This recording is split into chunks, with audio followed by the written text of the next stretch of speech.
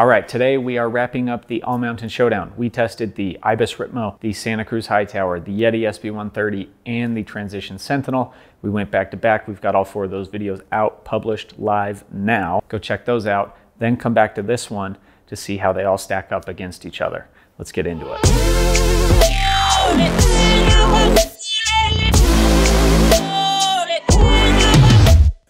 Right off the bat, let's talk about a couple things we're not comparing. We're not comparing weight, we're not comparing components, and we're not comparing price on any of these. Due to inventory issues, all of these builds were just uh, all over the place, all across the board. We had high-end stuff, we had mid-range stuff.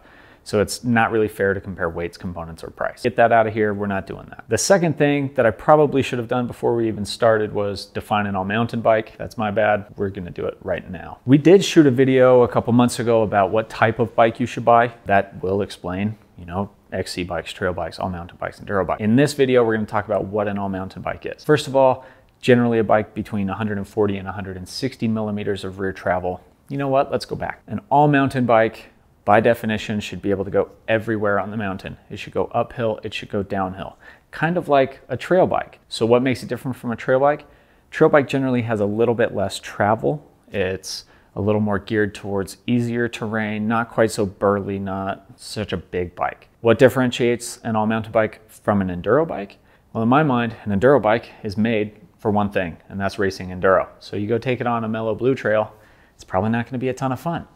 But you go take it down a double black diamond and go as fast as you possibly can against a clock. Yeah, great bike for that. So an all mountain bike sits between there. It's not kind of a lighter duty, a little bit faster climbing, easier trail trail bike, and it's not an enduro race bike. That said, it does a lot of both of those things. It goes uphill pretty well it can race downhill if you want it to. And this isn't a hard and fast rule. It's not every bike with 140 millimeters of rear travel is an, is an all mountain bike. That's not the case. There are some bikes that blur the lines. The Yeti SB130, it's got less travel, but rides more like the other all mountain bikes. And then, you know, geometry, it's not always that kind of 64, 65 degree head tube angle that puts you in the all mountain category. Transition Sentinel 63 and a half, which technically is closer to most of the enduro bikes, but it rides more like most of the all mountain bikes. All right, let's jump into the good stuff. Uh, the stuff you probably actually want to know and not just listen to me rambling for the last two minutes. All right, climbing performance. The top dog winner of the climbing category is that Ibis Ripmo. It is incredibly fast uphill, super efficient, gives you tons of traction, and it smooths out the trail very well.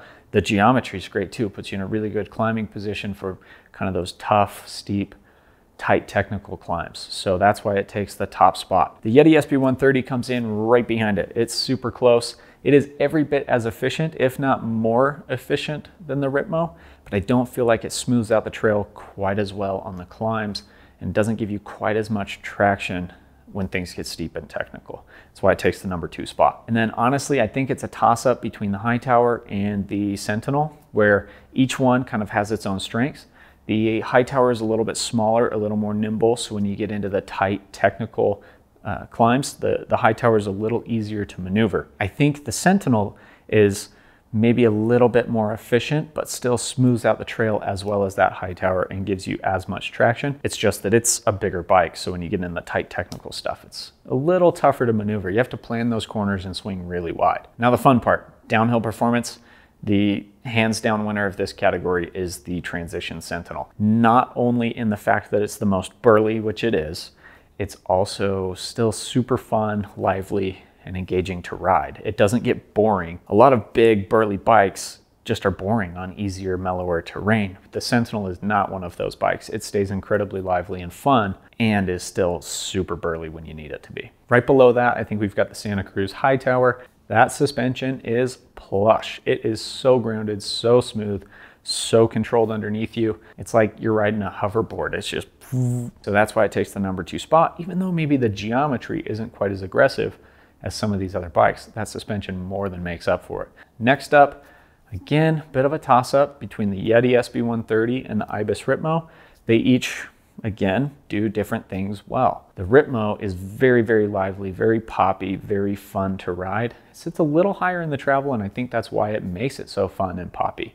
But that also makes it not quite as grounded, not quite as stable or planted as the Yeti SB130. The SB130, even though it has less travel, feels a little bit more stable than the Ibis Ripmo. It also feels fast. This thing is designed for performance. It's designed for speed.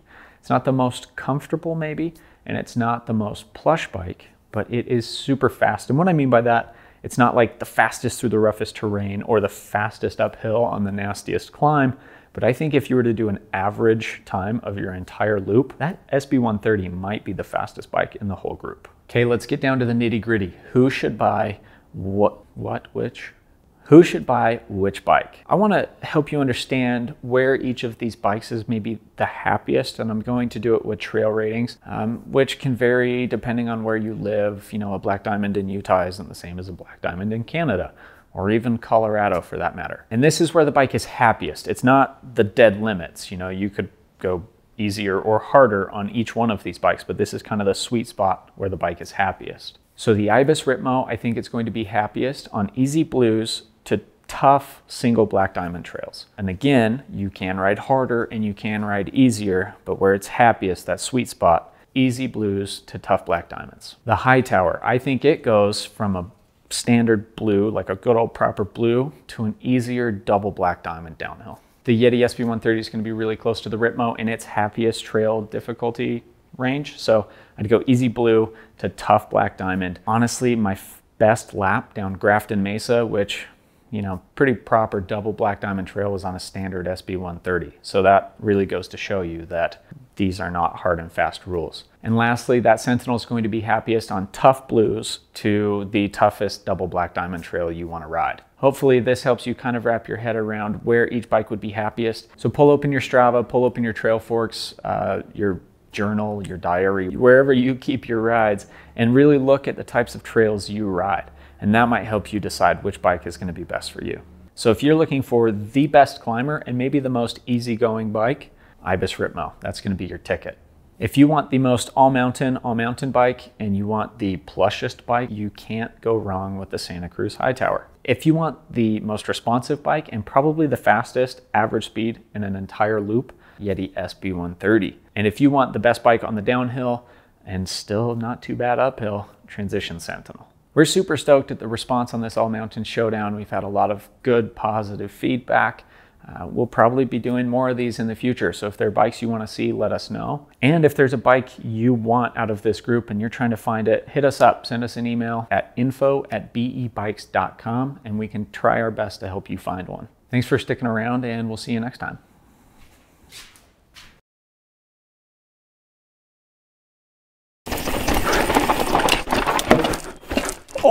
Tree.